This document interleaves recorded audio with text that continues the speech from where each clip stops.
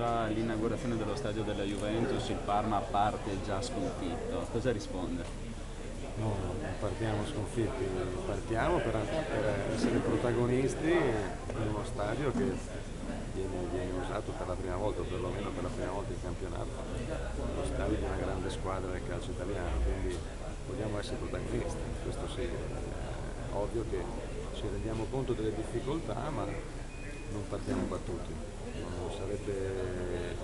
giusto e nella nostra filosofia. Se credo che la salvezza dell'anno scorso passi da, questa, da, questo modo di pensare.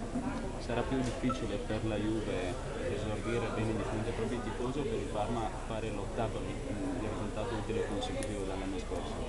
No, sono tutte cose difficili. Per loro c'è l'obbligo di vittoria, c'è il desiderio di vittoria, è un'occasione importantissima.